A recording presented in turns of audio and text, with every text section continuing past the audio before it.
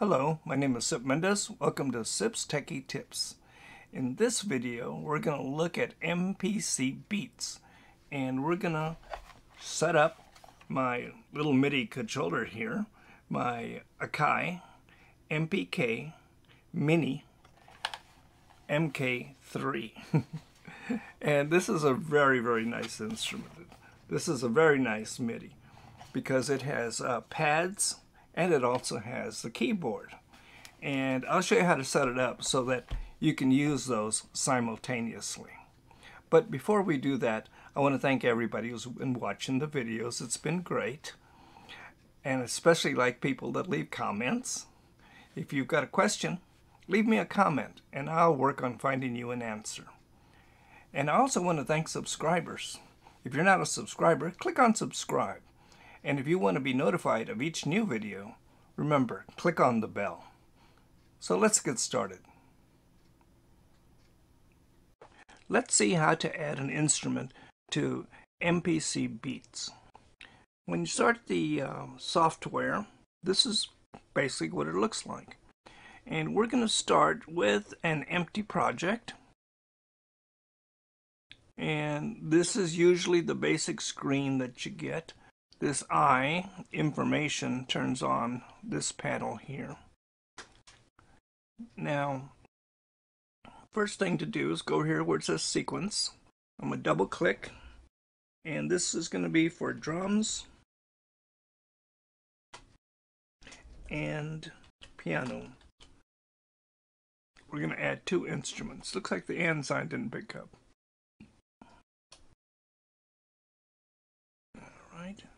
Then we're to create our first track. And that's this one here. We double click on it and we're to call it drum kit.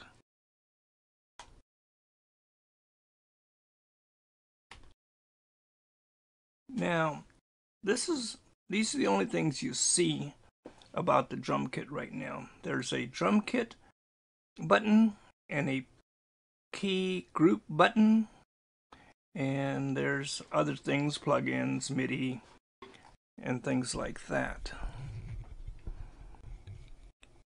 Now, to change the appearance of this, we go up here where there's these three little lines, and we're going to turn on what we need to see. I need to see the input port. I need to see the input channel and I need to see the um, mono solo buttons and I don't need to see the key range.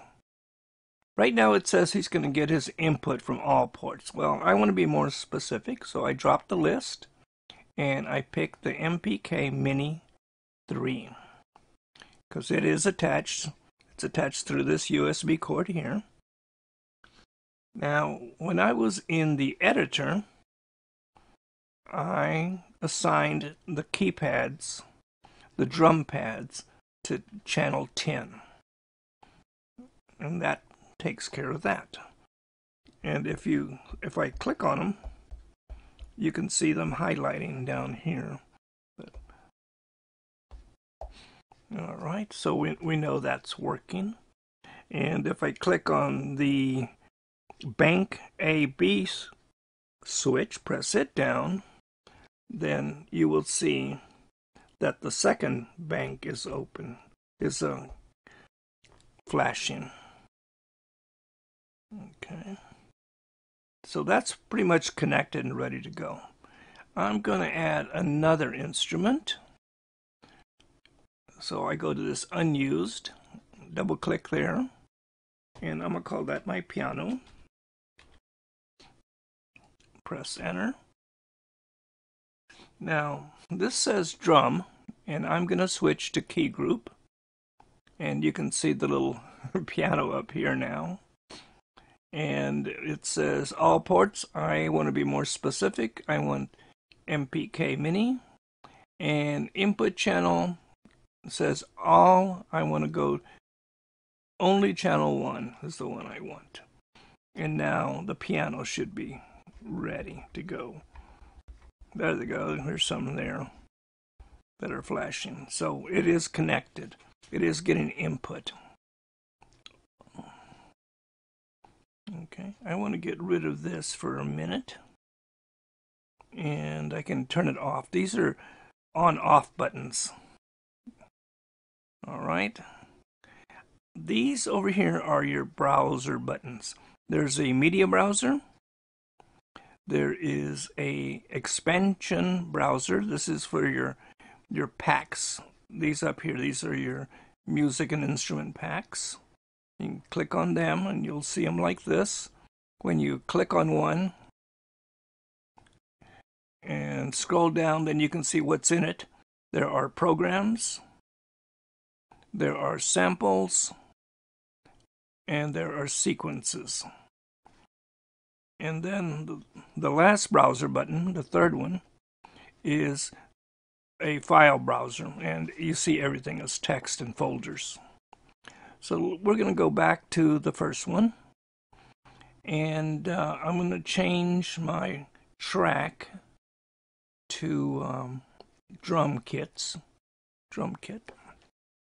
And I'm going to get my drum kit from the uh, producer kit. Okay. And it has a filter, so I'm going to go to Program. And it has a type, and I'm going to click on Kit. I'm going to use a drum machine. There's a drum and bass, and that's something different. So, bass. And it says there's three kits included. And kits are groups of uh, drum, drums and cymbals and percussion instruments already done. So I'm going to pick the second one, the uh, 909. And to assign it to the drums, all I need to do is click on it, drag it, and put it up here on the track. And it's loading them up, and they should be ready to go.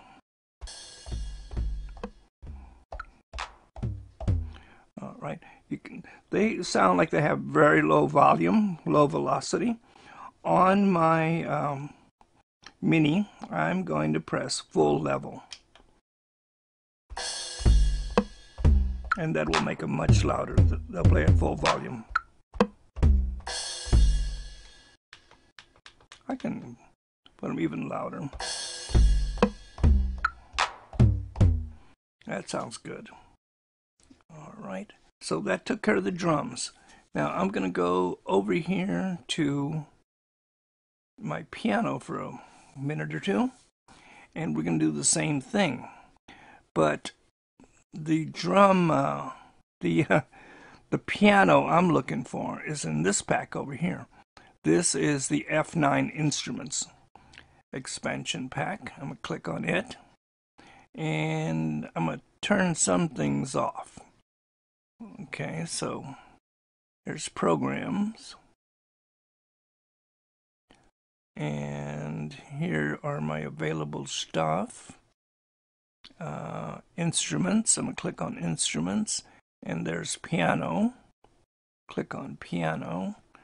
And there's synthesizers. But I'm just going to look at pianos.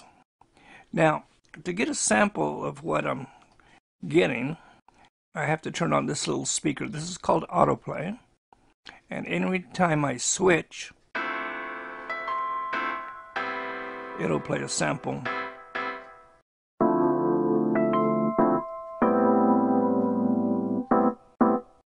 To replay it without switching, you can click on the play button and hold it down. And I'll go back to one. Okay. I'm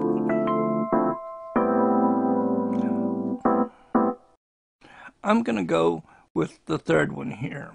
Looks like it says Uber Tines. I'm to click it and drag it over here to my track.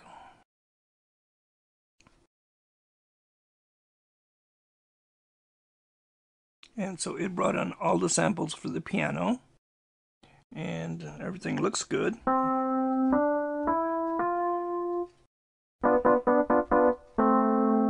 And so that's my piano. let's see here.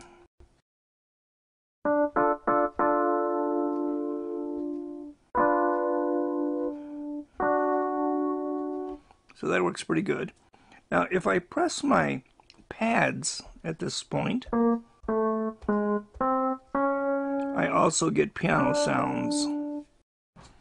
If I switched, I'm going to switch my view over here to track view, and I can see my drum kit and I can see my piano right here.